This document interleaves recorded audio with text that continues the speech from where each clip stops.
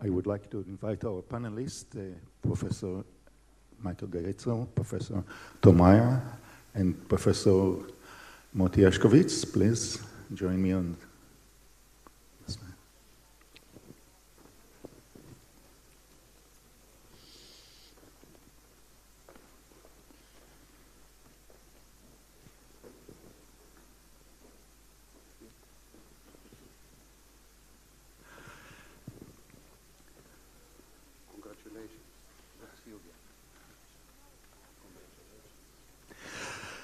The main challenges in the quest for oil alternative are in science and technology. However, most of the panels uh, were focused on the ecosystem and on regula uh, regulatory acts, on economical aspects, and less on the science itself. Uh, in this panel, we shall try to rectify this fact a little bit, and uh, we shall give, uh, during the panel, three short presentations uh, regarding the science behind the wheel. Uh, our three panelists are the two uh, 2014 Eric and Sheila Samson Award, Professor Michael Grätzel and Professor Thomas Meyer. they, their work focused on some extremely interesting and intriguing aspect of the technology, which is trying to imitate the natural photosynthesis uh, process, what we call artificial photosynthesis. And the first, especially the first step in the uh, PS2 uh, cycle, which is the water splitting, solar-assisted water splitting uh, into hydrogen and oxygen. Uh, this uh, fascinating subject that we'll discuss by the first two uh, awardees of the uh, Samson Award. it will be followed by Professor Moti Herskowitz, who dedicated the last few years, I think, in promoting the conversion of CO2 and water into syngas and alternative fuel, uh, production of hydrocarbon based on the simplest uh, gases we have in nature, the CO2 and the, and, and the water. Uh, uh, during this lecture, it will be followed by a small discussion, and I hope that people will act according to the system that we have here and submit their questions, and we shall leave some time for question and, and answers from the audience. Uh, we shall start with uh, Professor Michael Grätzel. Professor Grätzel is the uh, director of the Photonic Laboratory at the Swiss Federal Institute of Technology in Lausanne, Switzerland. Uh, he is extremely well known, and I, can I list? Should I list the, all the list of awards no, you received? Okay, let us save the time. Professor Grätzel, please. Good morning. It's a pleasure to share with you during these next few minutes the, uh, some of the uh, results we have in our research. This uh, opening slide shows you actually one product we have developed using mesoscopic dye sensitized systems. It's, it's a Congress Center wall in, in Lausanne, the first large-scale project, showing the success of mimicking photosynthesis. This system uses a molecular sensitizer, as, as the plant does, using chlorophyll to generate electricity from light. But our uh, lecture this morning is focused on fuels, and so uh, we'll, be, uh, we'll be talking about photoelectrochemical cells, PECs, and there we have uh, two different approaches. I will be mainly speaking about metal oxide photoelectrodes, and I think Tom, he will be turning to molecular systems and uh, talk to you about how we can really mimic natural photosynthesis. And so the, uh, the PEC is actually uh, the only system that takes sunlight, uh, the energy out of sunlight, to split water into hydrogen oxygen. Then hydrogen can be used as a vector to, to uh, for example, make fuels, methanol, or, or hydrocarbons. And uh, so that's a key, a, a key renewable uh, strategy to use the photoelectrochemical approach. And so, what's the essence of our invention? Well, if you take a material like iron oxide, which is a semiconductor, well, usually it's, uh, it, it's inactive. It doesn't uh, produce any oxygen or, or, or, hydrogen from water. It's just dead. But uh, the reason for that is the, the, the light is absorbed, and uh, positive negative charges are, are generated in rust, but they recombine very quickly. You can't get them to do any, any chemistry for you. And so the, uh, the key advantage of using the mesoscopic architecture, that, is our invention, is that we shorten the, the, by using nanostructured systems like this cauliflower iron oxide structure, we shorten the diffusion path to a few nanometers, and hence you're able to capture those carriers that produce under sunlight to do chemistry, in this case, the oxidation of water to, to oxygen. And so that reaction is shown here. So when we excite the iron oxide, well, if you use rust, it doesn't do a thing for you. Uh, you haven't seen rust uh, decomposing water, bubbles coming out of rust. But uh, the reason for that is excitation followed by very rapid uh, recombination, and so no carriers uh, can perform the chemistry like oxid oxidizing the oxidation of water by the positive charge of valence band holes. And so, but if we... When they can be applied CO2 is not a problem. CO2, there are mature technologies, there are novel technologies, and the cost of recovering CO2 is marginal when you compare it with the other, with the other costs that are attached to it. So we should move forward, and we should move forward to implement it.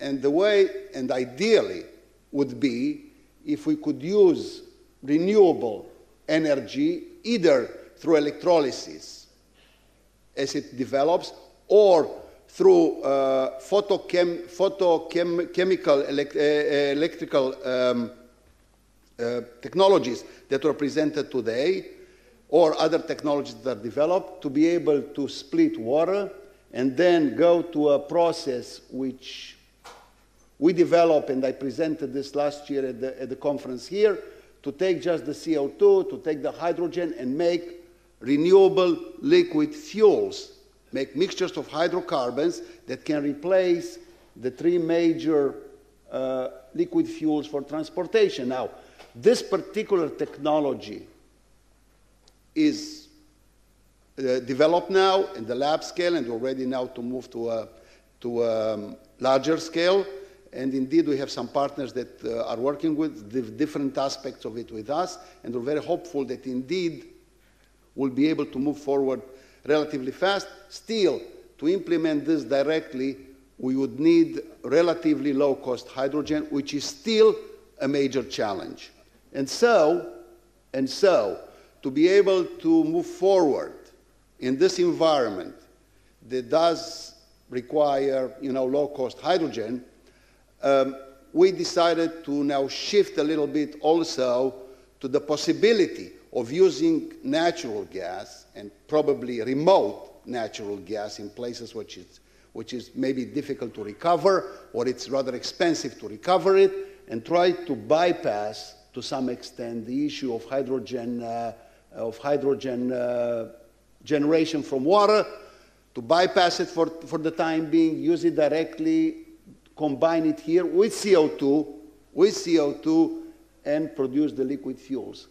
So in summary, I think that there should be more efforts to try to use the upcoming and the novel technologies for producing hydrogen, which sooner or later will become uh, economical and sustainable, and combine them with CO2 to make liquid fuels. Thank you very much.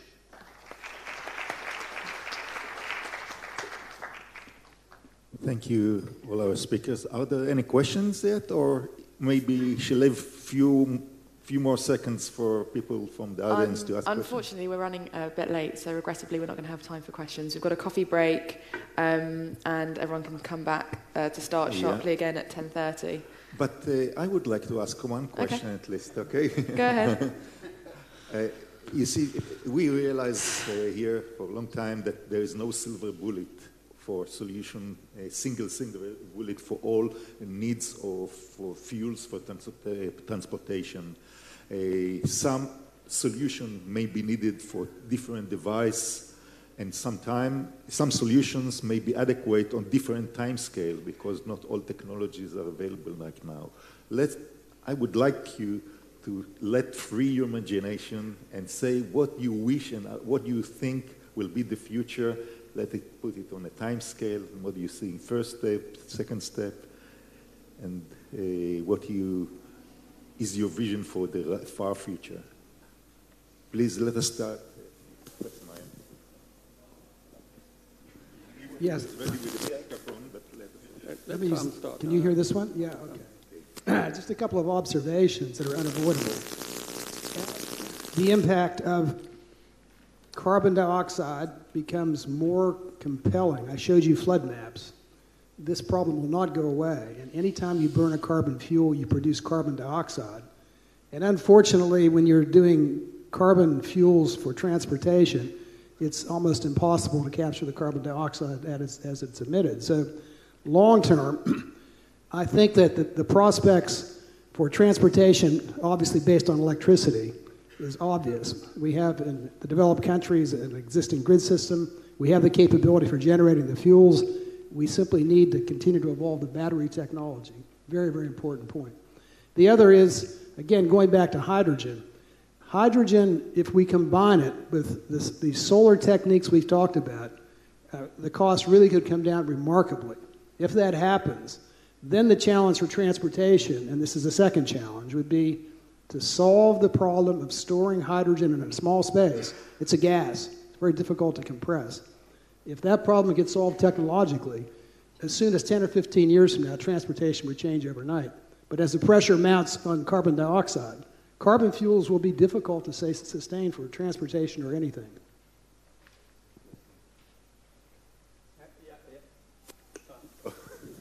It's, uh, it, as I said, the water splitting, uh, the last speaker also mentioned, the water splitting is really the holy grail uh, that uh, remains it. We have to especially scale up. I mean, on a laboratory scale, this works well, and now uh, we have to, to gather more experience and scale up, but also the fundamental research needs to be much more enhanced. This research has been funded to the tune of the oil barrel price. Okay, and in uh, 1984, our funding was zero because the oil barrel price was four dollars, and so, uh, so, so that has to stop. There has to be some uh, some trust in the scientists that have now shown remarkable success, and I think that at the end, we want to mimic the natural photosynthesis in capturing CO2 and splitting water. But, uh,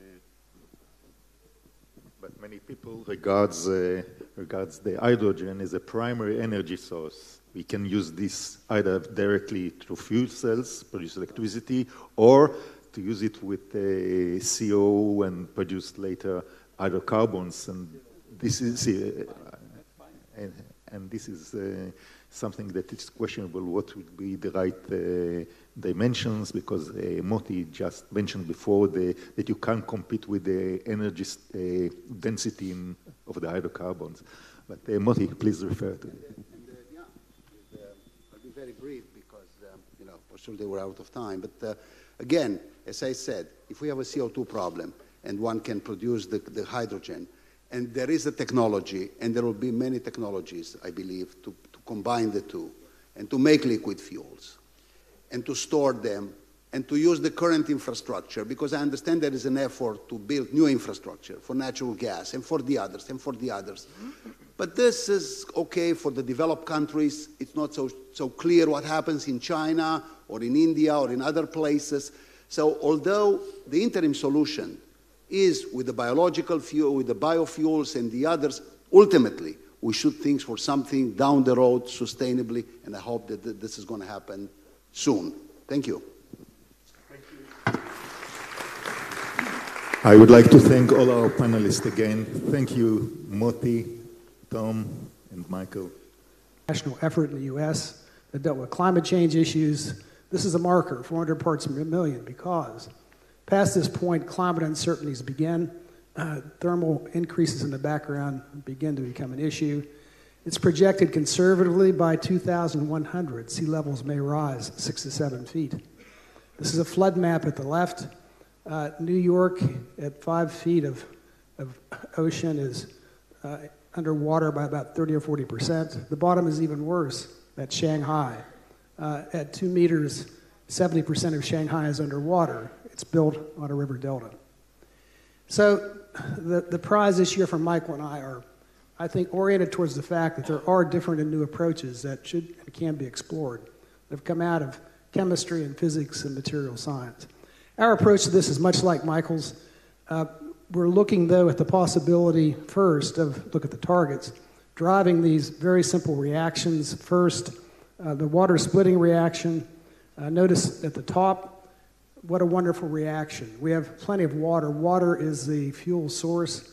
Use the sun and break it into hydrogen and oxygen, and then recombine it. Huge amounts of energy storage. Or at the bottom, our second target. Uh, carbon dioxide is this, is this greenhouse gas that's building up let's turn it around and use it as a fuel source. Use water as a reducing agent in a chemical parlance and react it with the CO2 and hopefully make hydrocarbons that we then plug straight back into our existing hydrogen carbon transportation economy. Uh, so that's where we are. The hydrogen splitting reaction is obviously very appealing, but I would make the point to those of you interested in transportation you can build large structures, and I'll talk about it in a moment, uh, where the world's economy uses hydrogen massive amounts for energy storage. The key for solar energy is energy storage in the end, because the sun goes down at night, and you need a way to have continuous power supply. and a stationary application, hydrogen's fine. The continuing problem is, even though there's a Toyota fuel cell and has a fuel cell car running on hydrogen, and has been for 10 years, I drove it in Los Alamos 10 years ago, the problem of storage is basically unsolved in massive scales. We need a way to store the hydrogen. Uh, I'm not going to talk about the technical details here, again, based uh, in large part on some of the principles that Michael developed. Uh, our goal in this, uh, I show a cell. Uh, it's a kind of an engineering drawing where part of the sunlight would, would strike this cell, a thin bed reactor, and at one side, water in fact, gets oxidized, so that's one source of the oxygen in the first slide, bubbles coming off. In the other, I show, though, the, the second target reaction, and that is to take this dreaded greenhouse gas, carbon dioxide, again, as a fuel source and convert it into something useful. And we're very much uh, into this, this part of the project, mainly from the electrochemical point of view. Plug it into the circuit uh, because we don't have the cell constructed, but we can still do the chemistry. At the right, you see two targets. One is reduction of CO2 to formate. Uh, this has appeal. So if you look at the right, there's this PEC, this photoelectrochemical cell. Uh, sunlight gets absorbed. Carbon dioxide gets converted into formic acid. There is an existing technology for formic acid reacting with oxygen, but indirectly in a fuel cell. And so here's a potential power source. and that, in fact, could be a closed system if you're off grid, if you're in an isolated place capture the CO2 and run the system forever. On the left, we begin to plug in with this thinking into the existing energy economy. In that case, we look at the possibility of reducing carbon dioxide and water to so called syngas, mixtures of hydrogen and carbon monoxide. And we know how to do this. We have good catalysts for this. We're looking at the prospects of a startup company, uh, and I think the prospects here uh, for profitability are, are relatively high. Uh, some other thinking go back to hydrogen. And hydrogen, in fact, when stored in large amounts for this stationary application that I mentioned, is in fact quite appealing. If you look at the, at the graph at the top uh, and, and find the place that's marked with the red box, that's hydrogen storage estimates. And compared to other ways to store energy, it's just fine. Uh, for us in our photoelectrochemical approach, uh, our goal, our break even point is about $5 a kilogram uh, in hydrogen production. Finally, we're again looking at this pretty carefully from the perspective of developing a new technology that we can commercialize as soon as possible in places where the technology is needed. And I would point out that, you know, this may not be New York City, but in the beginning, there are places almost right now uh, that would benefit from technologies of this kind. And here I show pictures of them. Obviously, if you're a military organization or another that works in places uh, far, from, far from the center, uh, you need power, and how do you get your power? If you could use solar energy and convert to these chemicals and use them, uh, then you have a power source. clean energy for the third world. Although this is, you know, a market that we don't pay much attention to, there are many parts of the world where there is no grid, there is no infrastructure. So this is a way to get isolated communities or communities without a grid structure uh, the energy they need. Uh, the obvious clean energy for remote islands and off-grid communities. And I just came from a meeting in Japan on this theme, but on a research focus, energy independence for island nations, including, as the example, Japan. It's chosen to close down its nuclear industry. It has no real hydrocarbons. So let me just say in closing uh, that I, I think uh, that Michael and I, in fact, fit in this session in the sense of being hopefully providers of fuels for those of you uh, in the audience who think about where to go next. Thank you.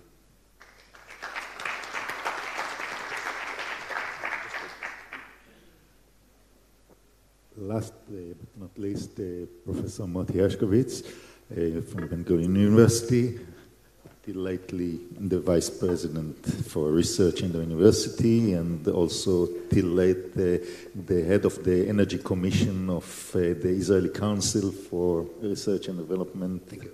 Thank you. Thank you, Shlomo. Thank you. Good morning. Well, it's a pleasure to be here this morning uh, to discuss this very important topic and as a matter of fact, if we look at liquid fuels, they're just a mixture of hydrocarbons. So all we need is really hydrogen and uh, carbon. And, uh, well, we, there is plenty of carbon dioxide that contains carbon. The question is how to use it, because actually trying to get rid of it, because it does create all these environmental problems. And the hydrogen, obviously, can be produced from water. And really, the key to all this effort of getting renewable and sustainable um, liquid fuels is really to be able to produce hydrogen from water, which is a very well-known process, has been practiced for many, many, many years, uh, how to split water, and the real question is how to do it uh, economically, sustainably, and can be done in large scale. And so you know, this is just, uh, just, just shows all the liquid fuels. So although I appreciate and I fully agree with the fact that we need multiple solutions, but still, we have to remember that, you know, uh, sorry, that, uh, you know, uh, I mean, you know, people talk about methanol, people talk about other types of liquids, but we should remember that there is a significant advantage to the liquid fuels that we use right now you know, the diesel, the gasoline, certainly the jet fuel that we cannot replace as such. And so there, I think there should be a sustainable effort to convert carbon dioxide, which is plenty available, and hydrogen, which will hopefully be able to produce at relatively low cost, to combine them rather than to methanol, or certainly not to methane, which is just natural gas, but to try to make out of them liquid fuels. And so, you know, you know very well this, the, the, those types of predictions. And, you know, they're not, very, they're, they're not very optimistic, as a matter of fact. And this is just one, but they all look pretty much the same, which means that actually the contribution of the biofuels all the way to, to 2040 will be kind of marginal. So it means that, you know, and given the fact that, you know, the current belief is that there is a lot of remaining uh, crude in the ground, one way or the other, that may be more expensive to get out, but still there, then we have to find some other ways of doing things, something that will be game changing. And, uh, you know, the environmental issue is there. You know, the reports that are coming out of the UN and the others are very, very pessimistic about it. And the real question is when, you know, some kind of an environmental disaster will happen, we, we really don't know to say that, but the predictions are not very, very optimistic about that. So what, what, are, what are the options? Ultimately, the options are either to go to natural gas or to coal, and, you know, Fischer-Tropsch processes know how to convert this to liquid fuels, or you can go to biomass and, and convert that, you know, again, through, through all kinds of processes. And there are many existing today to, to something that would look like liquid fuels, or to maybe do this water splitting plus the carbon dioxide hydrogenation, which is certainly sustainable. So this picture here summarizes what you heard from the uh, from the two speakers, you know, about the prospect of splitting water, and you know, we're all very hopeful that this is going to happen very soon. And you know, this, this particular paper here by, two, by, by several authors here, which are well known in the field, do ask the question, you know, will uh, solar-driven water splitting devices will see the light of day? And we hope this is going to happen very soon. And you know, you heard some numbers here, and I would say that the target for 2020, the way DOE and other organizations said it, is like $2 a kilogram of hydrogen. And if we reach the target, we'll, we'll be in a very good shape to proceed with the technologies. Now, at this point in time, uh, electrolysis looks, does look the most hopeful because of the fact that even today, one can build large-scale electrolysis units and run them, and there are several projects that do it, although they're still relatively small scale, but this thing is moving forward quite fast, and there are other technologies, not just the, electroly the electrolytic technologies, but also the PEM technologies and other technologies that are done for this electrolysis. And certainly, the, the, the low-cost technologies, some of them are presented here today, uh, you know, they look better, but they do, need, they do need much more development to be able to reach the point when they can be applied. CO2 is not a problem. CO2, there are mature technologies, there are novel technologies, and the cost of recovering CO2 is marginal when you compare it with the other, with the other costs that are attached to it. So we should move forward, and we should move forward to implement it. And the way, and ideally, would be if we could use renewable energy either through electrolysis as it develops or through uh, photochem photochemical elect uh, electrical um, uh, technologies that were presented today or other technologies that are developed to be able to split water and then go to a process which we develop, and I presented this last year at the, at the conference here, to take just the CO2, to take the hydrogen and make renewable liquid fuels, make mixtures of hydrocarbons that can replace the three major uh, liquid fuels for transportation. Now, this particular technology is uh, developed now in the lab scale and we're ready now to move to a, to a um, larger scale. And indeed, we have some partners that uh, are working with the different aspects of it with us, and we're very hopeful that indeed we'll be able to move forward relatively fast. Still, to implement this directly, we would need relatively low-cost hydrogen, which is still a major challenge. And so, and so, to be able to move forward in this environment that does require, you know, low-cost hydrogen, um, we decided to now shift a little bit also to the possibility of using natural gas and probably remote natural gas in places which is, which is maybe difficult to recover or it's rather expensive to recover it and try to bypass to some extent the issue of hydrogen, uh, of hydrogen uh, generation from water, to bypass it for, for the time being, use it directly, combine it here with CO2, with CO2, and produce the liquid fuels. So in summary, I think that there should be more efforts to try to use the upcoming and the novel technologies for producing hydrogen, which sooner or later will become uh, economical and sustainable, and combine them with CO2 to make liquid fuels. Thank you very much.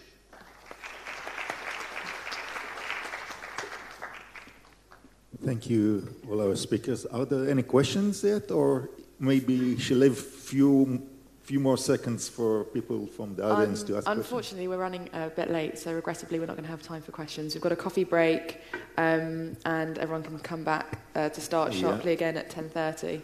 But uh, I would like to ask one question at least, okay? Go ahead. Uh, you see, we realize uh, here for a long time that there is no silver bullet for solution, a single single bullet for all needs of for fuels for trans- uh, transportation. Uh, some solution may be needed for different device and sometime, some solutions may be adequate on different time scale because not all technologies are available right now. Let, I would like you to let free your imagination and say what you wish and what you think will be the future. Let it put it on a time scale. And what do you see? First step, second step, and uh, what you is your vision for the far future. Please let us start. Yes. Let me, can you hear this one? Yeah, okay. Just a couple of observations that are unavoidable. The impact of carbon dioxide becomes more compelling. I showed you flood maps. This problem will not go away. And anytime you burn a carbon fuel, you produce carbon dioxide. And unfortunately, when you're doing carbon fuels for transportation, it's almost impossible to capture the carbon dioxide as, as it's emitted. So, long term, I think that the, the prospects for transportation, obviously based on electricity, is obvious. We have in the developed countries an existing grid system. We have the capability for generating the fuels. We simply need to continue to evolve the battery technology. Very, very important point. The other is, again, going back to hydrogen. Hydrogen, if we combine it with this, solar techniques we've talked about, uh, the cost really could come down remarkably. If that happens, then the challenge for transportation, and this is the second challenge, would be to solve the problem of storing hydrogen in a small space. It's a gas, it's very difficult to compress. If that problem gets solved technologically, as soon as 10 or 15 years from now, transportation would change overnight. But as the pressure mounts on carbon dioxide, Carbon fuels will be difficult to say, sustain for transportation or anything.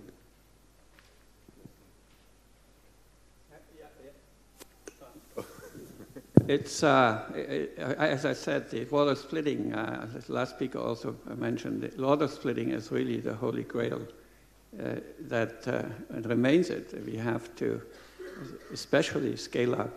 I mean, on a laboratory scale, this works well, and now uh, we have to, to gather more experience and scale up, but also the fundamental research needs to be much more enhanced. This research has been funded to the tune of the oil barrel price. Okay, and in uh, 1984, our funding was zero because the oil barrel price was four dollars, and so, uh, so, so that has to stop. There has to be some uh, some trust in the scientists that have now shown remarkable success, and I think that at the end, we want to mimic the natural photosynthesis in capturing CO2 and splitting water. But, uh, but many people regards, uh, regards the hydrogen as a primary energy source. We can use this either directly through fuel cells, produce electricity, or to use it with uh, CO and produce later hydrocarbons. And this is, uh, and, and, this is uh, something that is questionable what would be the right uh, dimensions because uh, Moti just mentioned before the, that you can't compete with the energy uh, density in, of the hydrocarbons. But uh, Moti, please refer to it.